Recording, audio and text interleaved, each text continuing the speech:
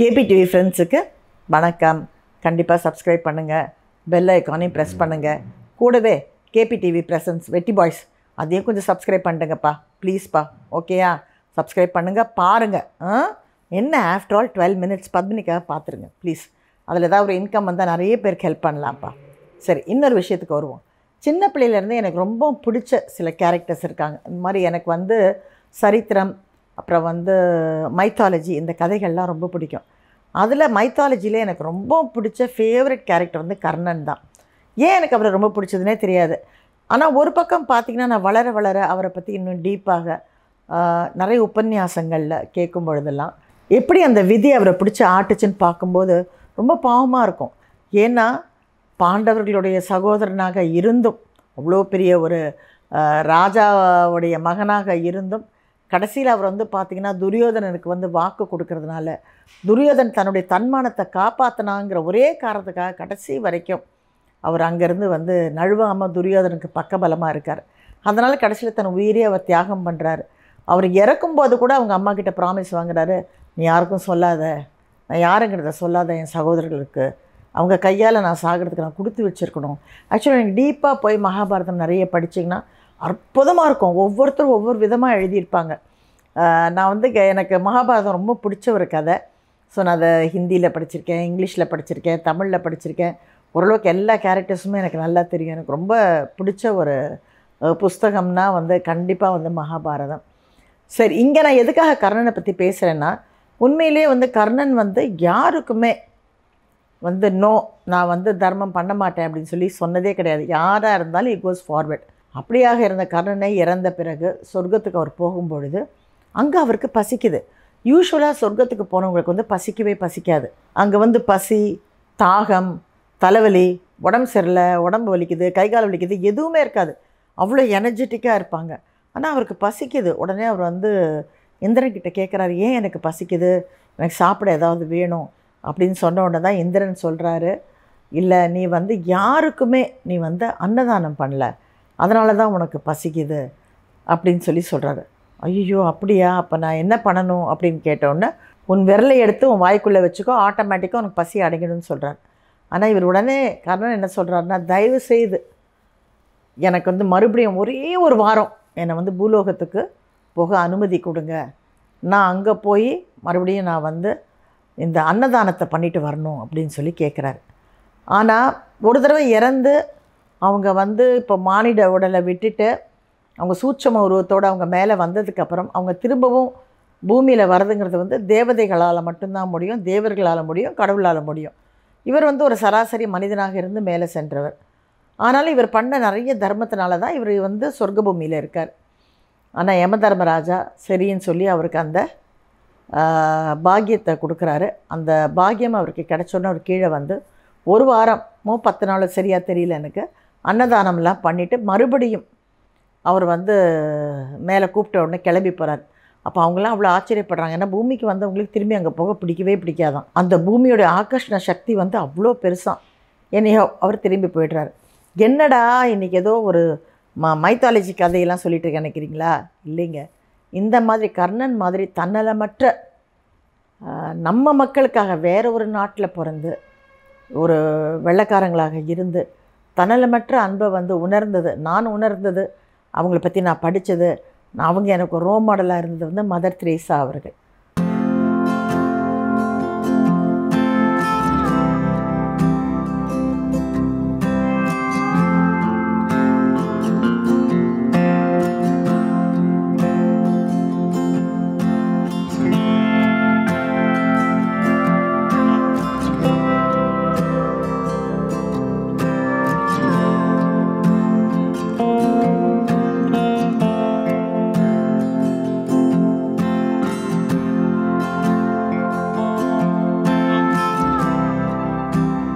Mother Teresa ஒரு சாதாரண ஒரு ஏழை குடும்பத்தில் பிறந்த ஒரு பெண். அஞ்சு பேர் அவங்க சகோதர சகோதரிகள். அதில் வந்து அவங்க அப்பா ஒரு சாதாரண விவசாயி. எட்டு வயசுலலாம் இவங்களுக்கு மதர் தெரேசாக்கு எட்டு வயசு இருக்கும்போதே அவங்க அப்பா வந்து இறந்துடுறாரு. ஸோ அவங்க அம்மாவுக்கு இது ஒரு மிகப்பெரிய சுமையாகுது இந்த குழந்தைங்களெல்லாம் படிக்க வைக்கணும் காப்பாற்றணும் அப்படின்னு சொல்லி ரொம்ப கஷ்டப்படுறாங்க. அப்படி அம்மாவுக்கு உறுதுணையாக கூடவே இருந்து எல்லாம் ஹெல்ப் பண்ணிவிட்டு பள்ளிக்கூடம்லாம் போயிட்டு வரும்போது இந்த குழந்தைக்கு பன்னெண்டு வயசுலேயே மக்களுக்கு சேவை பண்ணணும். அதாவது ரெண்டு விதமான மக்கள் சேவை இருக்குது ஒன்று வந்து பொலிட்டிக்கலாக வந்து நீங்கள் பாலிட்டிஷியன் ஆகி மக்கள் சேவை செய்கிறது இன்னொன்று தன்னலம் இல்லாமல் நமக்கு எதுவுமே தேவையில்லைன்னு சொல்லி இறங்கி அவங்களுக்கு வந்து போய் டவுன் டு ஏர்த்தாக இருந்து அவங்களுக்கு ஹெல்ப் பண்ணுறது ஸோ அந்த மாதிரி ஒரு சாதாரண ஒரு மனுஷியாக இருந்து நான் மற்றவர்களுக்கு உதவணும் அப்படின்னு சொல்லி அவங்களுக்கு பன்னெண்டு வயசுலேயே மனசில் வருது. ஸோ அவங்க பள்ளிக்கூடத்தில் இருக்கும்போதே அவங்க வந்து இந்த மாதிரி சர்வீஸ் சென்டர்ஸ்லாம் இருக்கும். சிஸ்டர்ஸ் இருக்கக்கூடிய சென்டர்ஸ் எல்லாம். அதில் சேர்ந்து லோரிட்டா அப்படின்னு ஒரு இடம் இருந்தது. அதில் சேர்ந்து அவங்க பதினெட்டு வயசு வரைக்கும் அதில் படிச்சுட்டு பதினெட்டு வயசுலலாம் அவங்க வந்து மக்களுக்கு சேவை செய்யணும் அப்படின்னு சொல்லி முடிவெடுக்கிறாங்க. அந்த இடத்துல அவர் வந்து மக்கள் சேவையை பற்றி நல்லா கற்றுக்கிறாரு அதுக்கப்புறமா அதோடைய பிரான்ச் வந்து கல்கட்டாவில் இருக்க கல்கட்டாக்கு வராரு. கல்கட்டாக்கு வந்த உடனேயே அந்த டைமில் ஆக்சுவலாக நீங்கள் பார்த்தீங்கன்னா இவர் கல்கட்டாக்கு வந்த நேரத்தில் பங்களாதேஷில் மிகப்பெரிய ஒரு வாரில் நாலரை லட்சம் பெண்கள் வந்து ரேப் செய்யப்பட்டு கணவனை இழந்து குடும்பத்தை இழந்து சில பேர் கர்ப்பமாகவும் சில பேர் கை குழந்தையோடும் அகதிகளாக கல்கட்டாக்கு வராங்க. அவங்களெல்லாம் இவங்க வந்து அரவணைச்சு அந்த குழந்தைகளெல்லாம் அவங்க வந்து எடுத்து என்ன சொல்கிறது சிறங்கும் சளியும் ரத்த கசிவோடு இருந்தவங்க எல்லாரையுமே வந்து இவங்க ஹெல்ப் பண்ண ஆரம்பிக்கிறாங்க. அப்போ இவங்களுக்கெல்லாம் இன்னும் ஹெல்ப் பண்ணணும்னு சொல்லிட்டு அவங்க ஆக்சுவலாக நர்சிங் இதுக்கு கூட போய் நர்ஸாக கூட அவங்க கற்றுக்குறாங்க நர்சிங்கெல்லாம் எப்படி பண்ணணும்னு சொல்லி. அவங்க நினச்சிருந்தா எனக்கு எதுக்கு இதெல்லாம் வேண்டாம் அப்படின்னு சொல்லிட்டு கிளம்பி அவங்க அவங்க ஊருக்கே திரும்ப போயிருக்கலாம். ஆனால் இந்த மாதிரி அவங்களுக்கு போய் ஹெல்ப் பண்ணுறது ரொம்ப பிடிக்குது. மனிதருள் தெய்வமாக அவங்க நின்று ஒவ்வொருத்தருக்கும் ஒரு ஆறுதலாக இருந்து அவங்க எல்லோரையும் கல்கட்டாலேயே வந்து நீங்கள் போய் பார்த்தீங்கன்னா மதர் தெரேசாவுடைய ஆசிரமம்லாம் போனீங்கன்னா ரொம்ப அற்புதமாக இருக்கும். இதை படித்த எனக்கு பேசிக்காக நான் சொன்னேன் இல்லைங்களா பிளெயின்லலாம் போகும்போது நான் வந்து இப்போல்லாம் நிறைய ஃபோன் வந்துருச்சு. ஃபோனில் கொஞ்சம் பார்க்குறோம். இருந்தேன். அப்போல்லாம் பிளெயினில் போகும்போது டெல்லி ஃப்ளைட்லாம் மூணே முக்கால் மணி நேரம். Minimum three and half hours ஏர்போர்ட்டில் மெட்ராஸ்லேருந்து சீக்கிரம் கிளம்பிடும் ஆனால் டெல்லியிலேருந்து ரிட்டர்ன் வர ஃப்ளைட்டு இன்வேரபிளாக அஞ்சு மணி நேரம் ஆறு மணி நேரம் கூட லேட் ஆகும். அந்த மாதிரி வந்து அப்போ ஏர் இண்டியா மட்டும்தான் இருந்தது. நிறைய ஃப்ளைட்ஸ் வந்து இந்தியன் ஏர்லைன்ஸ் ஏர் இண்டியா விட்டால் வேறு ஃப்ளைட்டே கிடையாது. ஆனால் இப்போ அப்படி இல்லை. நமக்கு நிறைய ஃப்ளைட்ஸ் இருக்குது நம்ம ஒன்று கிடைக்கலாம் இன்னும் மாறி கூட நம்ம போய்க்கலாம். இப்போ மணிக்கணக்காக ஏர்போர்ட்டில் உட்காந்துருப்போம் மொபைல்லாம் கிடையாது லேப்டாப் கிடையாது. ஸோ இந்த மாதிரியான புஸ்தகங்கள் தான் நான் நிறைய படிப்பேன். அதில் படித்த உடனே என்னன்னு தெரில எனக்கு ஒரு கனெக்டிவிட்டி எனக்கு அவங்கள ரொம்ப பிடிச்சி போச்சு. அவங்கள வாழ்க்கையில் ஒரு முறையாவது நான் சந்திக்கணும் அப்படின்னு சொல்லி ரொம்ப ஆசைப்பட்டேன். இப்படி நடந்துகிட்ருக்கும்போது ஒரு முறை என்ன ஆச்சுன்னா எனக்கு வந்து நான் ஆல்ரெடி டிவி சீரியல்லாம் ப்ரொடியூஸ் பண்ண ஆரம்பிச்சிட்டேன். திடீர்னு தூர்தர்ஷன்லேருந்து எனக்கு ஒரு டெண்டர் வந்தது. அப்போ தான் வந்து தூர்தர்ஷன்லாம் ப்ரோக்ராம் பண்ண ஆரம்பிச்சிட்டேன். டெண்டர் ஒன்று இருக்குது அதுக்கு வந்து அப்ளை பண்ணணும் அப்படின்னு எனக்கு ஒரு ஃப்ரெண்டு வந்து ஃபோன் பண்ணி நீங்கள் பண்ணுறீங்களா அப்படின்னு சொல்லி கேட்டார். ஏன்னா உங்களுக்கு எலிஜிபிலிட்டி இருக்குது நீங்கள் ஆல்ரெடி ஹிந்தி ப்ரோக்ராம் பண்ண ஆரம்பிச்சிட்டீங்க. ஸோ பண்ணுறீங்களா சரின்னு சொல்லி பண்ணுவோமேன்னு பண்ணால் எனக்கு ஓகே ஆகிடுச்சு நாலு எபிசோடோ அஞ்சு எபிசோடோ ஓகே ஆச்சு எனக்கு. சரின்னு சொல்லி நான் தைரியமாக வந்து கல்கட்டாக்கு ஃப்ளைட் போட்டு கல்கட்டாக்கு போய் இறங்கிட்டேன். இறங்கினதுக்கு அப்புறம் தான் எனக்கு நைட்டு தோணுது. அடட நம்ம வந்து காத்தால ரொம்ப சீக்கிரம் ஃப்ளைட்டு போட்டோமே அசாமுக்கு போகிறதுக்கு ஆனால் இங்கே தானே மதர் திரேசா இருக்காங்க. நம்ம அவங்கள எப்படியாவது பார்த்துட்டு போனால் நல்லா இருக்குமேன்னு சொல்லிவிட்டு உடனே என்ன பண்ணுறேன் நான் வந்து ஏன்னா இப்போ இப்போ இருக்கிற மாதிரி ஆன்லைன்லலாம் டக்குன்னு வந்து டிக்கெட் எல்லாம் புக்கும் பண்ண முடியாது கேன்சலும் பண்ண முடியாது. அதை ட்ராவல் ஏஜென்ட்டுக்கு ஃபோன் பண்ணி அவர்கிட்ட கேன்சல் பண்ணணும். அது அடுத்த நாள் டிக்கெட் கிடைக்குதா இல்லையா தெரியணும். இது ஒரு பக்கம் இருக்கையில். நான் ரொம்ப புத்திசாலி பாருங்களேன்.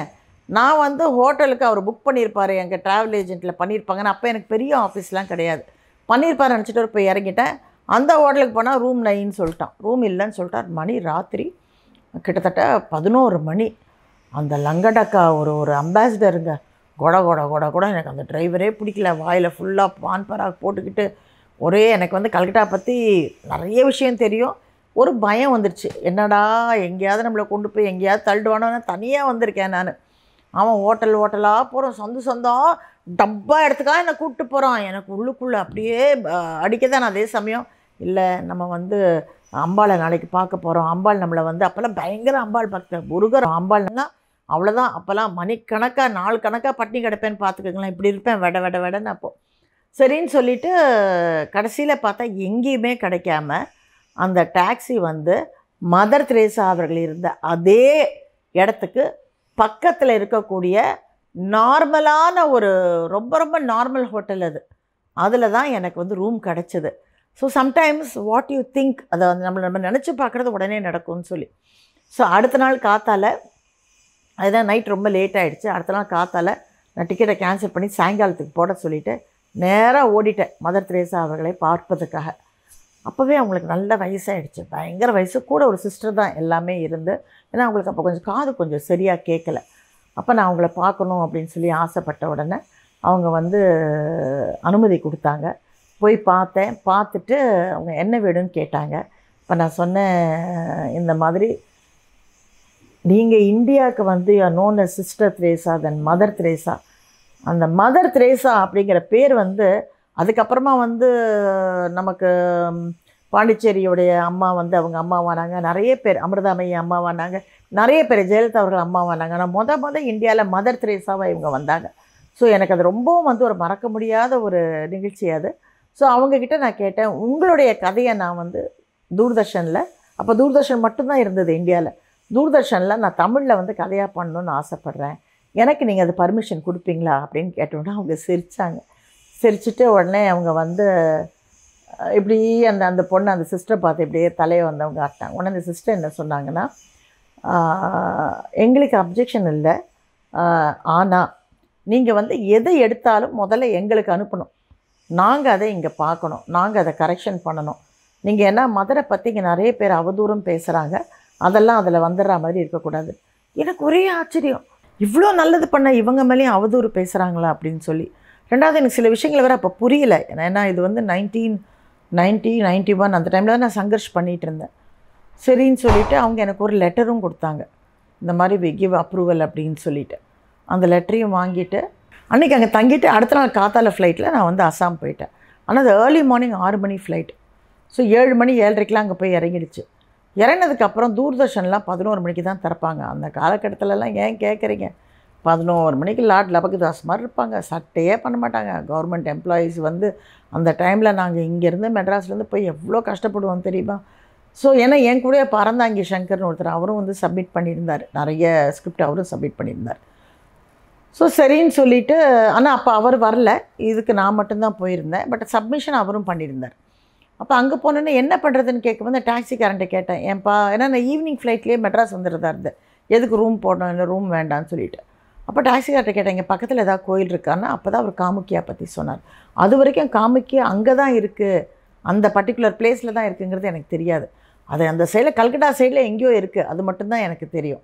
சரின்னு சொல்லிவிட்டு நான் காமுக்கியாவுக்கு போய் நல்ல தரிசனம் பண்ணிவிட்டு அங்கே வந்து அந்த காமுக்கியாவுடைய ஸ்பெஷாலிட்டி என்ன அப்படின்னா அந்த சக்தி பீடத்தில் அம்பாளுடைய ப்ரைவேட் பார்ட் விழுந்த இடம். ஸோ இப்போவும் வருடத்துக்கு ஒரு முறை அங்கே வந்து பிளட்டு வருது. அந்த பிளட்டு தோச்ச துணியை வந்து மிகப்பெரிய ஒரு விழாவாக எடுத்து அந்த துணியில் ஒரு சின்ன பிட்டு கொடுப்பாங்க. யார் யாருக்கு வேணுமோ அது ஒரு பொக்கிஷம் மாதிரி கொண்டு வருவாங்க. அது இப்போ பிரெட் வருதா? அந்த குங்குமத்தில் கரைச்சி கொட்டுறாங்களா? அதுக்குள்ளெல்லாம் நான் போக விரும்பலை. பட் இது அங்கே இந்த ஊரில் இருக்கக்கூடிய ஒரு ஐதீகம். ஸோ மொத்தத்தில் வந்து தந்திரத்துக்கு கூட அந்த கோயில் வந்து ரொம்ப பெயர் பெற்றது. தாந்திரிகள்னு சொல்லுவாங்க இல்லையா? ஒரிசால இருந்து தாந்திரிகள் நிறைய பேர் அங்கே வருவாங்க. ஸோ அங்கே நல்லா சாமியெல்லாம் கும்பிட்டுட்டு நான் தூர்தர்ஷனுக்கு போயிட்டு சென்னை வந்துட்டேன்.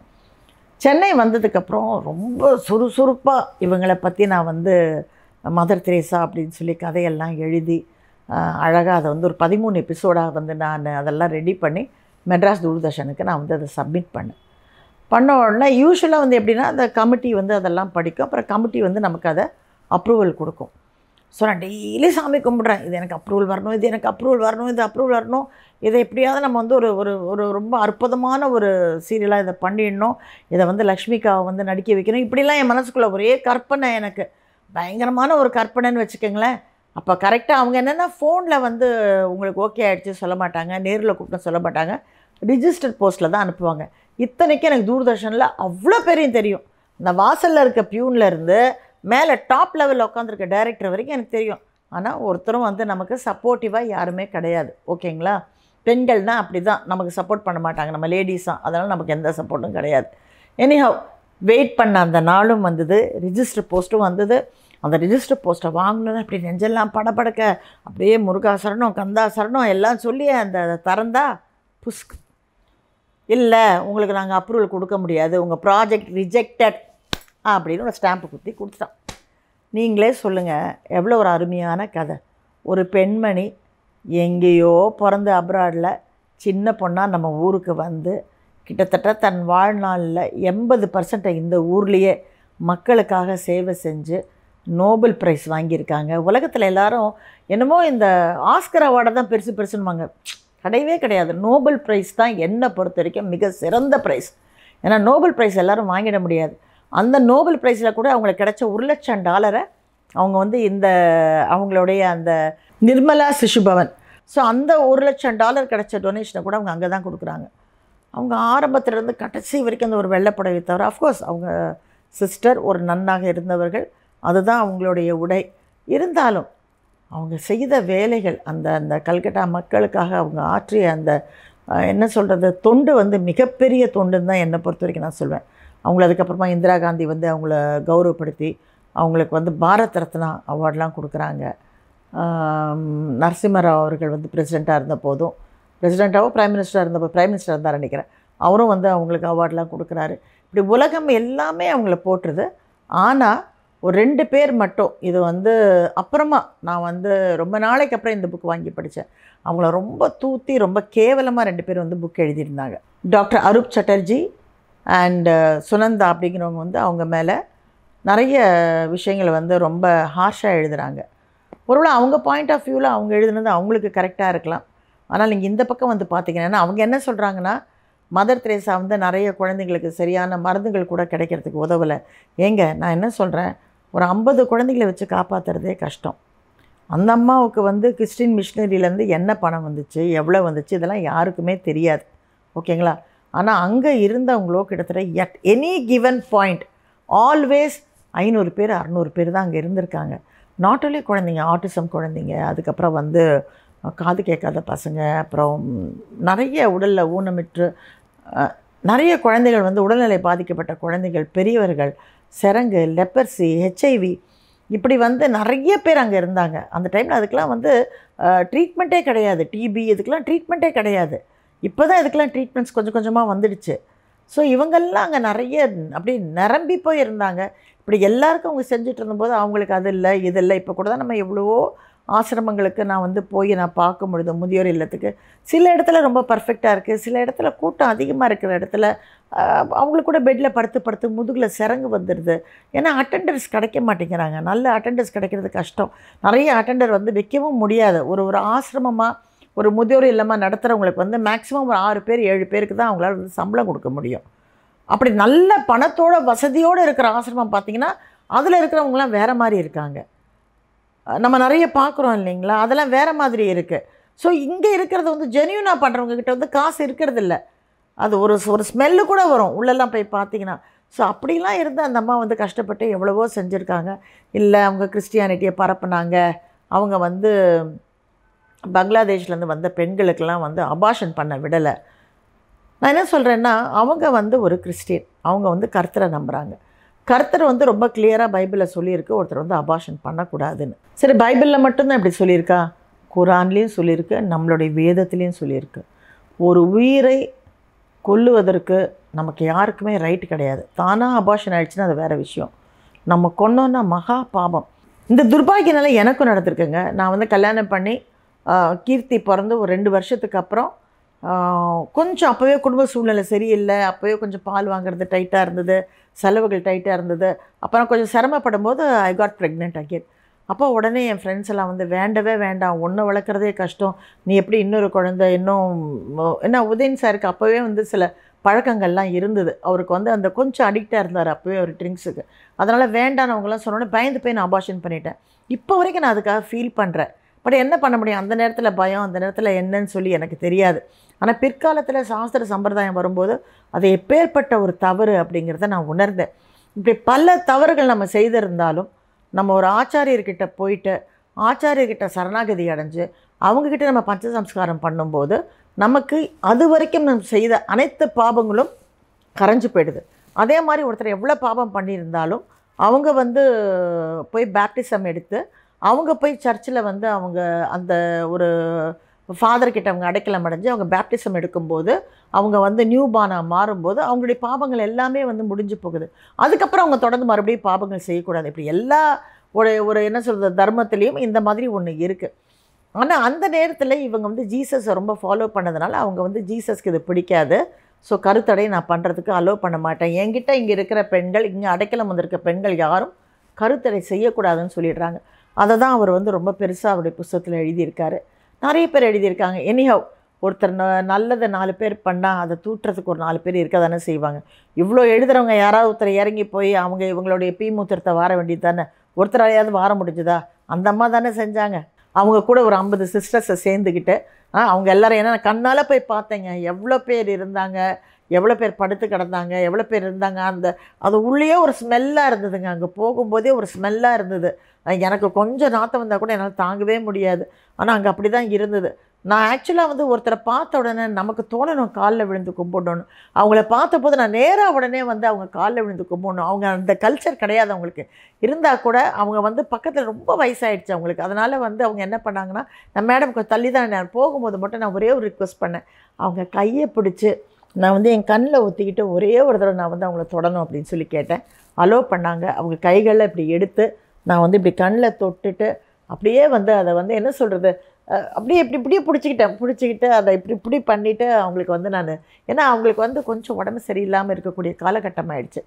அதனால் வந்து ரொம்ப ஓல்டாகவும் இருந்தாங்க. ஸோ இன்ஃபெக்ஷன் எதுவும் வரக்கூடாதுன்னு அவங்க கூட இருந்த சிஸ்டர்ஸ்லாம் ரொம்ப கேர்ஃபுல்லாக இருந்தாங்க. பட் ரொம்ப அன்போடு பார்த்துக்கிட்டாங்க.